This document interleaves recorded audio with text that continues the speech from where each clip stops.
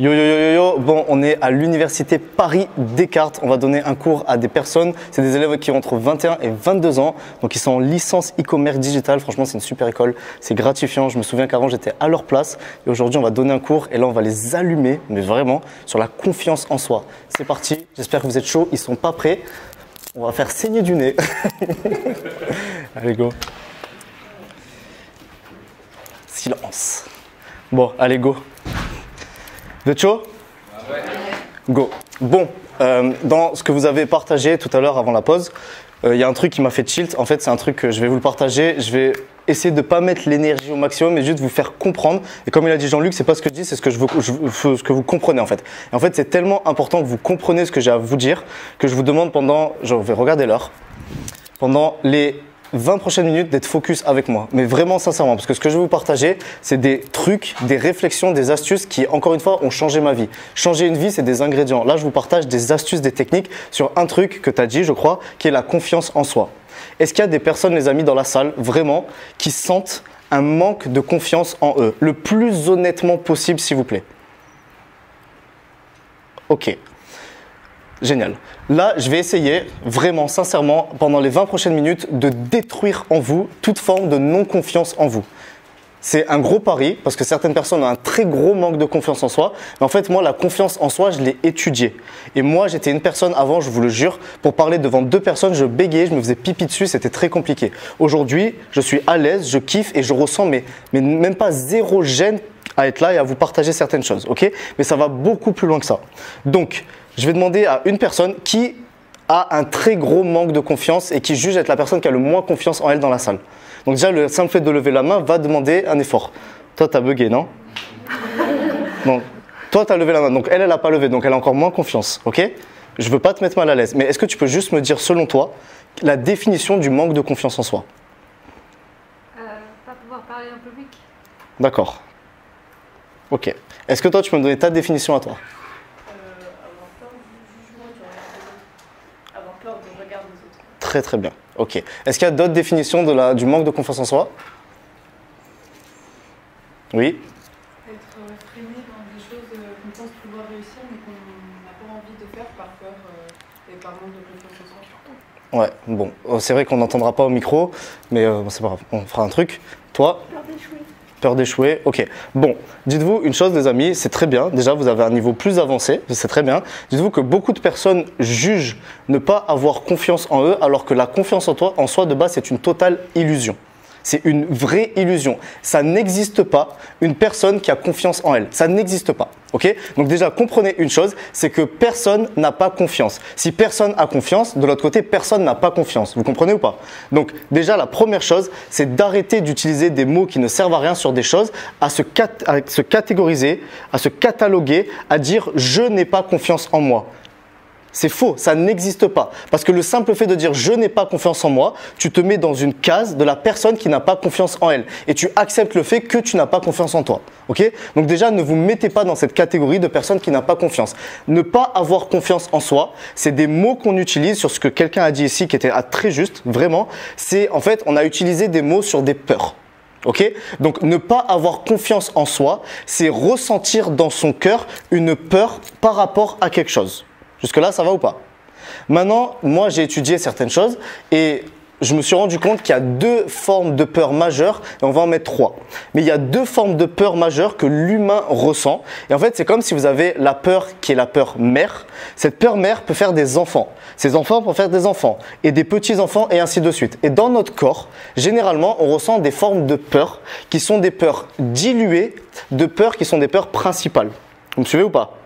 Donc ces peurs qui sont des peurs principales, la plupart des gens n'arrivent même pas à les identifier. Quand on l'identifie, on comprend dans une situation, ok, j'ai peur de ça, par rapport à ça, par rapport à ça, qui est par rapport à ça. Donc on va décortiquer ça ensemble et ensuite je vais essayer de vous casser le manque de confiance en vous et je vais essayer de vous donner un exercice. Et si vous voulez que cette journée vous serve, c'est que vous vous engagez, et on va le faire tous ensemble, pour ceux qui le veulent, vous vous engagez à dès demain mettre en pratique l'exercice que je vais vous donner. Ça va ou pas? Je vous jure, si vous le faites, je vous raconter comment moi je l'ai fait, et c'est ce qui fait que je suis là devant vous. Donc déjà, la première peur, qui pense savoir quelle est la plus grande peur des humains aujourd'hui, de l'humanité, et ainsi de suite Toi? Donc toi, t'as t'as dit la mort, toi tu pensais quoi? Je dirais la souffrance, mais ça va avec. La souffrance. Personne d'autre? Le manque de reconnaissance. Manque de reconnaissance. Regard des autres. Ok, c'est bien, c'est des formes de peur diluées, mais la peur principale de l'humain aujourd'hui, c'est le parfait euh, contraire du besoin primaire. Le besoin primaire de toute personne sur Terre, c'est d'être aimé. Ok? D'être aimé, d'être accepté. La peur principale que vous avez, qu'on a et qu'on a tous, c'est de ne pas être aimé et de ne pas être accepté, donc d'être rejeté. Ok? Donc, un, ne pas être aimé. Ok? Ça, c'est la peur principale. La plupart des humains font plein de choses diluées par peur de ne pas être aimé et peur d'être rejeté par les autres. D'accord? Ça, c'est la première peur. La deuxième peur, c'est de ne pas être digne. C'est-à-dire la peur de ne pas mériter certaines choses. La peur de ne pas être digne. La peur de ne pas être la personne qui peut avoir cette chose-là. Ok?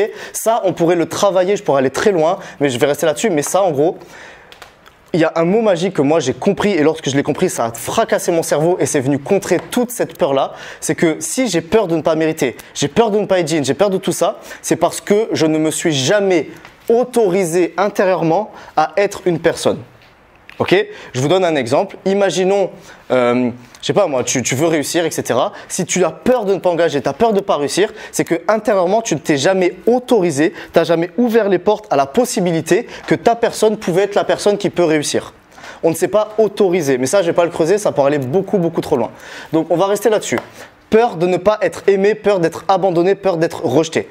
Quand vous dites j'ai pas confiance en moi, les amis, vous dites une seule chose, c'est que cette peur mère fait des petits enfants, etc. Et qu'il y a quelque part un endroit où vous avez peur d'être abandonné et d'être rejeté d'une autre personne que vous-même. Ça peut être des amis, de la famille, un environnement, peu importe. Tu as peur de, de parler en public, tu as peur que ces gens-là te jugent, ne t'aiment pas et te rejettent parce que tu te foires. Point la ligne, stop.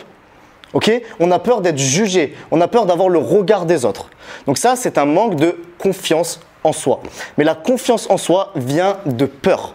Les peurs qu'on ressent à l'intérieur du corps. Donc déjà, la première chose à faire, les amis, c'est d'être conscient de ça. D'être conscient que personne n'a pas confiance en soi. C'est une illusion, c'est du bullshit. Parce qu'une personne qui a confiance, c'est une personne qui s'est entraînée à avoir confiance. Comprenez ou pas? Moi, j'ai pas confiance en moi là. Je me suis entraîné à avoir confiance en moi. Vous m'aurez vu il y a deux ans, je me faisais caca dessus. Donc il y a deux ans, j'avais des peurs. Aujourd'hui, je les ai plus. Parce que tous les jours, j'ai pris mes poids, j'ai fait ma musculation, pas celle de mes bras, mais celle de mon esprit, de mon cerveau, de mes émotions, de mon contrôle de mes peurs. Donc j'ai appris à avoir confiance en moi. Donc être confiant ou ne pas être confiant, c'est de la merde. Tu, c'est pas que tu n'as pas confiance en toi, c'est que tu n'étais pas suffisamment entraîné à avoir confiance en toi. Mais je te le dis, je te le garantis, si tu t'entraînes, tu peux faire des conférences devant 10 000 personnes. C'est une vérité. À l'heure actuelle, tu peux pas. À l'heure actuelle, elle peut pas le faire parce que son muscle, il est trop petit. Le muscle de son cerveau de l'entraînement de la peur, il est trop petit. Moi, je vais vous apprendre à vous entraîner. Je vous jure, je vais vous donner un, un exercice. Ça va être des poids que vous pourrez faire tous les jours dans votre tête. Vous êtes prêts à ça ou pas? Ok, ça sera pour après. Donc déjà, peur de ne pas être aimé, peur d'être abandonné, etc. Est-ce que ça parle à certains Je vais vite, je rentre pas dans des trucs de foule, c'est de faire condenser. Est-ce que ça parle à certains ce que je suis en train de vous dire ou pas? Ok, est-ce que vous pensez que ça vous semble logique, sensé ou pas? Ok, maintenant, quand on comprend ça, et encore une fois, je le creuse pas parce qu'on pourrait aller très loin là-dessus, quand on comprend que la peur et le manque de confiance et toutes ces choses-là, c'est des peurs, quand on comprend ça, moi j'ai une question à vous poser. Dites-vous dans votre tête, gardez-le pour vous dans votre tête, jouez le jeu, vous trouvez un truc pour lequel vous ressentez un manque de confiance. Ça peut être une situation, une caractéristique de votre personnalité ou quoi que ce soit. Donc essayez de penser à ça. Un truc pour lequel vous n'avez pas confiance en vous. Ok? Ok. Imaginez-vous maintenant vivre cette situation-là. Donc toi, c'était le parler en public. Donc tu t'imagines vivre cette situation, donc combattre ton manque de confiance en toi. Donc imaginez-vous ce qui vous fait ressentir un manque de confiance. Ça peut être passer à l'action dans le business, ça peut être ci, ça peut être ça, peu importe. Qu'est-ce qui vous fait? Vous le faites. Imaginez-vous le faire. Donc là, pendant que je parle, imaginez-vous passer à l'action, passer à l'action dans ce truc-là. Essayez intérieurement de voir quelle est la peur qui dirige ça. Quel est le blocage Par exemple, tu veux parler en public, je m'imagine parler en public, qu'est-ce que je ressens à ce moment-là? Quelle est ma peur? Qu'est-ce que je me dis à moi-même? Qu'est-ce qu'il y a à l'intérieur? Pourquoi est-ce que j'ai des sueurs froides? Qu'est-ce qui se passe? Ok? Essayez, pendant que je parle, de se dire, ok, la peur, c'est ça. J'ai identifié la peur par rapport à ça. J'ai peur de ne pas être aimé, j'ai peur de ne pas être digne, j'ai peur de ne pas mériter, j'ai peur de toutes ces peurs, peu importe la peur. Et une fois que vous définissez la peur, ok Et ça, c'est quelque chose que moi j'ai fait. Et lorsque j'ai fait, je peux vous garantir que ça m'a fracassé le cerveau comme pas possible. C'est que je me suis dit, ok, j'avais plein de peur par rapport à plein de choses. Un manque de confiance en moi, comme vous pouvez même pas imaginer, sur plein de choses. Ok? Plein de blocages, plein de trucs. Et en fait, je me suis dit, ok, j'ai peur de ça. Mais la question que je vous pose, c'est cette peur-là, elle est justifiée, les amis, par rapport à qui ou par rapport à quoi? Ok? Par rapport à qui ou par rapport à quoi vous ressentez cette peur? Parce que la peur due au manque de confiance en soi, généralement, elle vient par la peur de ne pas être aimé, qui peut faire des petits, mais c'est toujours pareil, être abandonné, être rejeté, être écarté d'un groupe, etc. D'un groupe, d'une personne ou d'un environnement. Donc quand on comprend ça, par rapport à qui ou par rapport à quoi est-ce que j'ai peur? Vous comprenez ou pas? Quand vous comprenez ça, vous comprenez que votre manque de confiance en vous et celui qu'on a tous, il vient parce qu'on donne de l'autorité à une personne à l'extérieur de nous qui va potentiellement nous juger, nous rabaisser et venir nous affecter. Et on laisse le pouvoir de décision sur qui nous sommes à une personne extérieure à nous. Parce qu'on a peur que cette personne nous juge, le regard de l'autre et toutes ces choses-là. Jean-Luc, il n'en a rien à taper les cacahuètes de se mettre ici et de vous montrer son cul. Parce qu'il s'en branle littéralement de ce que vous allez penser de lui. Parce qu'il est suffisamment éduqué à savoir quelle est sa propre valeur. Donc ce que toi tu penses par rapport à son cul, il s'en tape. On pourrait dire que dû à ça, il a une très forte confiance en lui. On n'est pas obligé d'arriver à ça, mais c'est une forme, c'est un exemple qui dit que si on s'en tape littéralement du regard des gens, parce qu'on a accepté qui on est, parce qu'on a compris notre valeur, et parce qu'on a compris que chaque chose était un processus et un chemin, et qu'à l'instant T, je suis pas parfait, mais je suis dans le chemin de, devenir, et si c'est pas content, va te faire un tour, là, il se passe quelque chose. Vous comprenez ou pas? Je suis là, j'ai peur de parler en public, ok? Je suis traumatisé, j'ai peur de parler en public. On fait l'auto-analyse. Ok, donc je m'imagine en train de parler en public. Qu'est-ce que je ressens? Je ressens de la peur. Quelle est cette peur? J'ai la peur de voir des gens qui se moquent de moi. Ok, donc j'ai peur non plus de moi, ce que je suis capable, mais du, des gens qui vont me rejeter, m'abandonner et qui vont me juger. Ok, donc ma peur, elle est vis-à-vis de qui? Des personnes dans cette salle. Qui vous êtes pour me juger? Qui t'es-toi pour dire que moi je suis une merde? Qui t'es-toi pour me juger? Qui t'es-toi pour me juger? Vis-à-vis de qui ou de quoi vous avez peur? Qui sont les gens autour de vous pour vous juger? Posez-vous la question. Qui sont les gens autour de vous pour vous juger? Qui sont les gens autour de vous pour laisser accepter un manque de confiance en vous de votre corps? Qui sont les gens pour dire que vous êtes trop gros, trop grosse, trop petit, trop grand, trop maigre? Qui y sont ces gens-là? C'est votre life, les amis. Vous comprenez cet état d'esprit ou pas? Moi, quand j'ai compris ça, avant, je vous le dis, j'avais un complexe parce que je suis petit. Aujourd'hui, je suis fier d'être petit. Avant, j'avais un complexe parce que j'avais une grosse voiture de merde et j'avais honte, vraiment, je vous le jure. Quand je parlais à des filles sur Instagram, j'avais honte d'aller les chercher avec ma voiture de merde et je prenais la voiture de mes parents. Au moment où j'ai compris ça, je me suis dit qui elle est la fille en face de moi pour juger la voiture que j'ai à l'instant T? Qu'elle aille se faire un tour? Je m'en bats les cacahuètes. Vous comprenez l'état d'esprit ou pas? Donc votre manque de confiance en vous les amis, il est parce que vous n'êtes pas suffisamment entraîné à dire va te faire enculer. C'est cash hein? Mais vraiment, vous pouvez même pas imaginer à quel point quand on adopte la philosophie je m'en bats les cacahuètes, comme il y a tout qui change. Quand on adopte la philosophie ce que toi tu penses je m'en tape, il y a tout qui change. Je dis pas de faire des trucs de fou. Je dis juste rappelez-vous, ça doit vous toucher, ça ne doit plus vous affecter. D'accord? Moi, j'ai vu des personnes se traumatiser la vie parce qu'ils se sentaient trop gros, être complexés, ne pas oser mettre des trucs, des machins, des bidules chouettes, parce que peur de ne pas être aimé par l'environnement, peur d'être rejeté par les personnes qui vont les juger. Donc ils sont jugés par des personnes extérieures à eux. Donc ils laissent le contrôle de leur vie à d'autres personnes. Donc ils donnent leur vie à d'autres personnes. Et l'un des drames, entre guillemets, de notre société, c'est que là, on est, encore une fois, conditionné, etc., à vivre notre vie par chantage affectif d'autres personnes. Parce qu'on veut rentrer dans les clous, on veut que lui pense à de moi, que lui pense à de moi, et nanani, et nanana, et plein de choses, et plein de choses, et plein de choses. Donc on ne s'exprime pas et on se reste bloqué. Parce qu'on se laisse bloquer par d'autres personnes. Est-ce que c'est clair ce que je vous dis ou pas? Vous le comprenez ou pas? Ok. Est-ce que par rapport à ça, il y a des questions avant que je vous partage un peu d'autres choses? Non? Est-ce Oui. Lors d'une soutenance, Oui. on projette notre mémoire, eux, ils sont professeurs, ils peuvent euh, juger notre travail. Oui. Donc ils ont une certaine légitimité. Carrément. 100% d'accord. Donc là, quand, quand il se passe ça, c'est que tu as peur de- d'exposer, par exemple, ton mémoire à une personne parce que tu as peur qu'il... euh, bon, je comprends ce que tu veux dire. Carrément. Ok, bah c'est ce que- c'est exactement euh, la réponse au deuxième exercice. C'est ce que là, c'est je vais vous partager un exercice qui va t'entraîner à ne plus ressentir ça. Ok, mais c'est une très bonne question. Est-ce qu'il y a une autre question ou pas, les amis? Non? Est-ce qu'il y a une personne qui veut éventuellement partager son complexe, son manque de confiance en soi, ce qu'elle aimerait travailler et que je lui donne en, deux minutes, en mode je me focalise sur elle et bam, bam, bam? C'est dur ça, hein? Non? Bon, on gardera pour après. Ok, bon, déjà vous avez compris ça. Maintenant, je vais boire un coup, je vais vous partager un exercice qui a changé ma vie, les amis. Je vous ai dit, j'avais un gros manque de confiance en moi pour plein de choses. C'est-à-dire que j'osais pas dans un groupe. En fait, je me trouvais moi dans un groupe. Il y avait toujours mes collègues. On est des mecs du sud, j'ai des collègues beaux gosses et tout. Et dans un groupe, je me trouvais toujours le mec qui est pas intéressant, le mec qui fait pas rire et tout. Vous voyez, il y a toujours un clown, il y a toujours un beau gosse. Et moi, dans un groupe, voilà, le clown c'est lui là-bas. Non, le beau.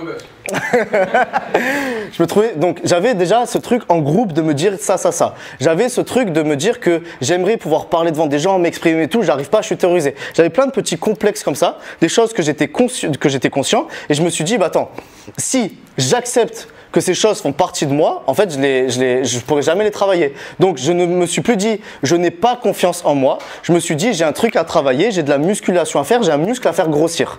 Et j'ai fait un exercice que je vais vous donner là. Mais avant de vous le donner, il faut que vous le compreniez. Est-ce que ça parle à certains la notion de zone de confort? Ok. Est-ce qu'une personne peut me donner la définition de la zone de confort C'est l'environnement dans lequel tu te sens à l'aise. Ok. Je dis pour le micro, c'est l'environnement dans lequel tu te sens à l'aise, c'est ça? Ok. Et un autre? Ok. Donc je redis pour le micro, c'est là où tu es vraiment toi-même, où tu vas pas jouer un rôle et ainsi de suite. Toi? Où tu vas être performant? Ok. Alors, je vais vous expliquer un truc, les amis. C'est plus ou moins ça, mais je vous le schématise un petit peu plus simplement. Vous êtes ici. D'accord?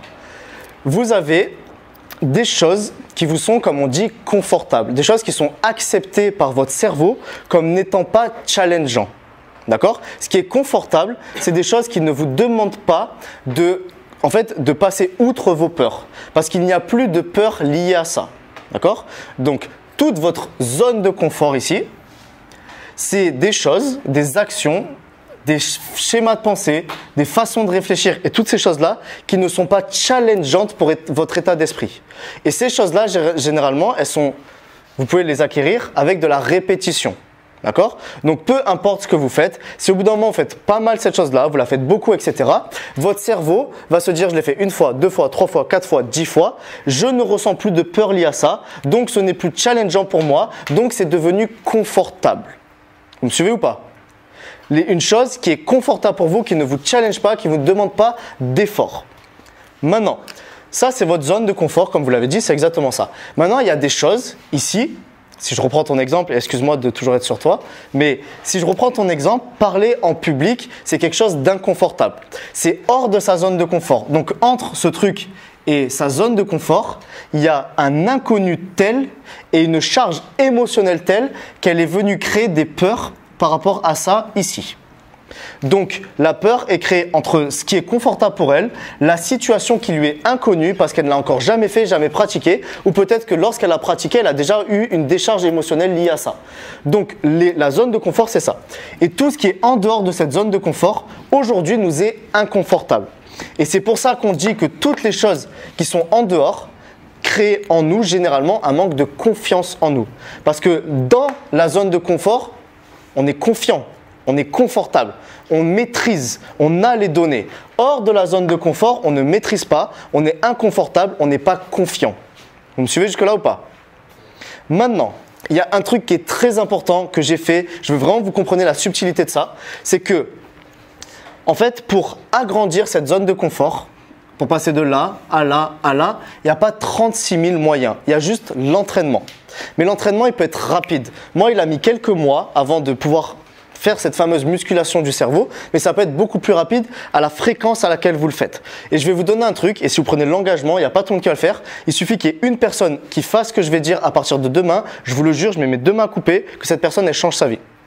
J'en suis convaincu. J'ai accompagné les amis, je vous ai dit, j'ai créé une équipe de plus de 8000 personnes. J'ai accompagné des gens tous les jours à travailler. Tous les jours, je les ai coachés sur leur état d'esprit. Ces choses-là ont changé des vies.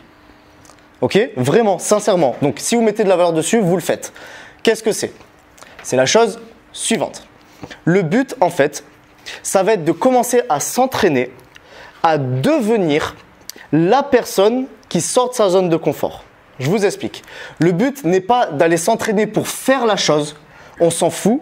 Le but, c'est de s'entraîner à donner le message à son cerveau que dès qu'il y a quelque chose qui vous fait peur, vous êtes une personne qui affronte la peur. Vous comprenez ou pas? Parce que la peur peut être ressentie par le moindre petit truc. Et si vous avez entraîné votre cerveau à détecter dès que quelque chose vous fait peur, vous passez à l'action, à force de répétition, ça peut être des tout petits trucs, des tout petits petits, mais ça devient confortable. Et confortable, et confortable, et confortable. Je vais vous donner un exemple comment pour moi c'est passé. Dès que j'ai compris ça, que la confiance en moi c'était dû à la peur, à toutes ces choses-là, et que je devais devenir une personne qui devait transgresser la peur. Que dès que j'avais de la peur, c'était mon cerveau qui voulait me garder dans la zone de confort. Que si un jour je voulais être confiant en moi, j'avais pas le droit de rester dans cette zone parce qu'il allait rien se passer. Que je n'étais pas pas confiant, j'étais juste une personne qui n'était pas suffisamment entraînée. Lorsque j'ai compris ça, je me suis dit une chose. Dès qu'il y a quelque chose qui me fait peur, je suis un gros bip si je le fais pas. Moindre petit truc où je ressens de la peur, maintenant je vais mettre une alarme, une boussole dans mon cerveau, dans mon corps, et dès que je ressens de la peur, ça va m'exciter. Parce que dès que je ressens la peur, c'est l'occasion de m'entraîner. La peur, c'est mes poids. La peur, c'est ma barre de musculation. C'est comme si je me balade, je vois de la peur, boum, un poids il apparaît. Et ben je m'entraîne. Bam, et je continue ma vie. Il y a un poids, boum, je m'entraîne. Et si je n'ai pas de poids, et si je ne fais pas cette muscu, je pourrai jamais être musclé. Vous avez compris la métaphore, la musculation du cerveau. La peur, c'est les poids. Comment ça fonctionne Dans votre vie de tous les jours, les amis, dès que vous ressentez de la peur pour quoi que ce soit, alarme, j'ai peur. Si j'ai peur, je veux devenir une personne qui a confiance. Si je veux devenir une personne qui a confiance, je m'en bats les steaks du truc en lui-même pour lequel j'ai peur. Moi, je veux devenir une personne qui n'a plus peur. Comment moi, ça s'est matérialisé Le jour où j'ai pris cette décision, j'ai pris une feuille, un stylo, j'ai marqué moi, Galarato Kevin, plus jamais de ma vie, je me laisserai contrôler par ma peur. Et j'ai signé un engagement envers moi-même. Le lendemain, je suis allé à mon travail j'avais un patron et je travaillais dans un magasin de peinture. J'ai ressenti de la peur à aller lui demander d'avoir des vacances. Parce que j'avais reçu un message, etc. Et je devais lui demander des vacances. Je me suis surpris à ressentir de la peur. En soi, on s'en bat les steaks d'aller lui demander si je peux avoir des vacances ou pas. Que j'ai des vacances ou pas, une semaine ou pas. On s'en tape. Vous comprenez? Par contre, que je devienne une personne qui ose combattre ma peur, ça on s'en tape pas.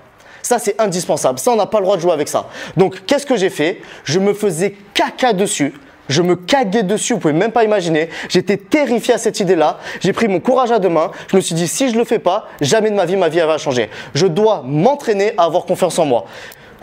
Je me suis préparé mentalement, je peux, ça a dû durer durer 10 minutes à tourner comme ça. J'y vais, j'y vais, allez, vas-y, j'y vais, tout, c'est quoi. J'ai pris les escaliers, je suis allé devant lui, je l'ai dit en bégayant, en tremblant. Je lui ai dit bonjour, nanana. Il m'a dit non. J'ai pas eu mes vacances. Par contre, quand je suis redescendu quand je me suis couché le soir, je peux vous garantir que mon cerveau, il a accepté quelque chose, c'est que j'étais capable de transgresser ma peur. J'avais été fier de moi d'avoir fait une action pour combattre cette peur-là. Comprenez ou pas? Deuxième exemple bidon. Moi, je vous donne des exemples bidons. Deuxième exemple bidon. On est dans un restaurant. Je suis avec mes amis. Je veux de l'eau. J'ai plus d'eau dans mon verre. C'est con. Je ressens de la peur à lever la main dans le restaurant. C'est bidon en soi, le mec il va repasser. Mais moi je me dis ok, là il y a le serveur qui est là, je ressens de la peur, le poids il apparaît, si je le saisis pas, je fais pas ma musculation, il se passera rien. Donc j'ai peur, je suis terrorisé, je me force, je me mets en inconfort volontairement et je lève la main pour demander de l'eau. Peu importe que le serveur il me voit ou pas, mais à ce moment-là j'ai ressenti de la peur. Je me suis dit attends mais si je lève la main, que d'autres personnes me voient et que le serveur me répond pas, je vais passer pour un sgeg et je vais me prendre la honte devant tout le monde. Je l'ai ressenti ça, mais j'ai levé la main. Et ça, je peux vous en donner des dizaines d'exemples. Et en fait, je me suis dit, pendant les prochains mois, ça va être mon nouvel entraînement. Dès que je ressens de la peur, je le fais. Dès que je ressens de la peur, je le fais. Et je le fais, en fait, maintenant, c'est devenu instinctif. Dès que je me surprends à avoir peur de quelque chose, je le fais. La première fois que j'ai dû parler devant une salle, je crois qu'il y avait 20 personnes, vous pouvez même pas imaginer ce qui s'est passé en moi. Ben, je suis pas mort, je l'ai fait, et ainsi de suite. Et je vais juste vraiment vous raconter pour comprendre jusqu'où je suis allé, c'est que à force de m'entraîner, à force de s'entraîner, c'est ça qui est intéressant, c'est qu'on augmente cette zone de confort. Après, on a besoin de plus. Parce que ce qui n'était pas confortable avant, tu lèves trois fois la main dans le restaurant, tu n'as plus peur de demander de l'eau. Après, tu le demandes tranquille, l'eau. Tu as demandé trois fois des trucs à ton patron, après, tu vas le voir, limite, tu le tutoies. Parce qu'on s'entraîne, en fait. Et un truc, moi, j'avais besoin, c'était, j'avais besoin de de devenir bon à parler à des inconnus, parce que j'étais terrorisé à ça. Parler à une fille, c'était impossible. Parler à des gens dans la rue, c'était impossible. Qu'est-ce que j'ai fait avec mon cousin? On a pris, je vous jure que c'est vrai, je vous le jure, mais vraiment, sur ce que j'ai de plus cher, c'est que le matin, on se levait, quand on n'avait pas les cours, on prenait le bus de notre village, on descendait dans la ville de Nice où c'est bondé de monde, on se mettait lui d'un côté, moi de l'autre, et on se disait, ok, on a une heure pour aller parler au maximum de personnes possible pour s'entraîner, on allait faire notre entraînement. On savait qu'on était terrorisé et on le faisait. Allez, on y va. Et j'allais parler à des gens, je vous jure, c'était horrible. Je les parlais, je dis bonjour, excusez-moi, je suis très timide, je sais pas quoi vous dire. Je dois vous parler parce que j'ai un défi personnel. Je dois parler au maximum de gens. Je suis désolé de vous importuner, mais au moins je l'ai fait, je suis fier de moi. Au revoir. Et boum, et allez, j'y vais. Au début, une, horrible, deux, trois, quatre, cinq. Et ensuite, j'avais besoin de plus. J'allais devant les facs et les universités et je prenais des groupes de 20 personnes qui étaient assis par terre. Et là, je n'étais plus à. Je faisais les amis, excusez-moi, bon, je, vraiment, je dois vous partager quelque chose. Je sais que là, vous êtes en cours, etc. Donc, j'ai ça, moi, j'ai un business par rapport à ça, ta, ta, ta. J'étais devenu à l'aise à parler à des gens, 20 personnes assis par terre. C'est fou, non? Je suis passé du mec qui a peur de lever la main dans un restaurant, à force de m'entraîner, à un mec, aujourd'hui, vous me laissez n'importe où, je, mais j'ai une confiance en moi qui est extrême, en fait. Mais une confiance positive. Parce que je, me suis entraîné et je ne suis plus affecté par le regard que pouvez avoir sur moi. Là, aujourd'hui, vous pouvez me prendre pour un guignol, je m'en tape en fait. Vous voyez ou pas ce que je veux dire? Et en fait, c'est cet entraînement qui crée la confiance en soi. Donc la confiance en soi, elle vient d'une compréhension, d'une auto-analyse sur ses propres peurs et toutes ces choses-là, et d'un entraînement. Si vous voulez, les amis, avoir confiance en vous, t'as peur? Tu veux jouer le jeu ou pas? Lève- Lève-toi. Allez, tu ressens de la peur ou pas là? Allez, lève-toi, c'est pas grave. Tu le fais, sois fier de toi, c'est très bien. Tac, tourne-toi devant tout le monde, fais-le vraiment. Allez, tu peux le faire. Ok Et parle pendant 30 secondes, dis ce que tu veux, 30 secondes. Tu peux le faire, crois-moi. Tu vas, même si tu pleures, on s'en fout. Allez, dis ce que tu as à dire, vraiment. Je suis avec toi et confiance en toi. Je sais que tu as peur, c'est très bien. Il faut avoir peur. Parle, dis, raconte ta vie. On a tous envie d'entendre ta vie là. Comment tu t'appelles? Tana, Tana? T'as quel âge? 20 ans. Redis la même chose en regardant tout le monde. Je m'appelle Tana et j'ai 20 ans.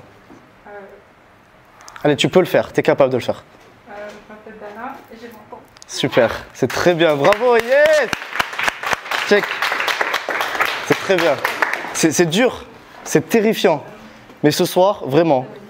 Non, mais c'est très. Je sais que c'est dur. Mais ce soir, tu te couches et tu repenses à ça. Et tu te dis que là, ça te terrifiait. Je t'ai poussé que tu as pu le faire. Ok? Cette voix dans la tête, les amis, j'ai pas été une voix dans la tête pour elle. J'ai été une voix extérieure. Mais vous avez tous le potentiel d'avoir cette voix dans la tête. Cette voix qui vous pousse, cette voix qui vous challenge. Si je la challenge pas, elle ne fait pas. Vous devez créer, là ce que je viens de faire avec elle en 30 secondes, et merci sincèrement, je suis désolé si ça te fait, mais c'est bon pour toi, vraiment. Ça me fait mal de devoir pleurer, mais c'est bon pour toi, ok? Vraiment, tu vas te coucher, tu vas être fier de toi. mais ce que j'ai fait avec elle, de la pousser là en 30 secondes, c'est ce que vous pouvez faire tous les jours, vous, dans votre tête. Tous les jours. Vous avez peur d'un truc Le coach, il où le gagnant là? Il où le, le soldat là? Il où le guerrier qui veut changer de vie? Vous avez peur d'un truc Je suis un guerrier, bam, je le fais. Je m'en bats les couilles, je suis un fou.